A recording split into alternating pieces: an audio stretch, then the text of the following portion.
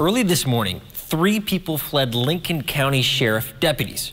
Two of those folks are still at large.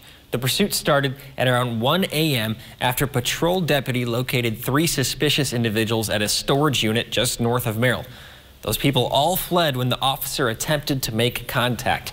The deputy pursued one of the vehicles and informed responding deputies about the other two, which resulted in another separate pursuit. Both pursuits, though, ended in Merrill, where the suspects fled on foot.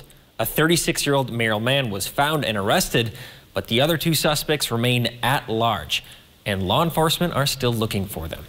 If you're interested in deer management, the public can tune in to meetings tonight on that topic. Earlier this week, County Deer Advisory Councils, or CDAC, began a two-week period of preliminary meetings to establish harvest goals, tag availability, and other seasonal details.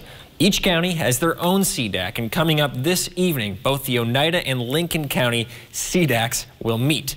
The Oneida County meeting is at 6.30 p.m., Lincoln County 7 p.m. Both meetings will be held remotely. Those meetings can be accessed on the DNR CDAC website, and you select the proper county. The next step will be a public comment period in April.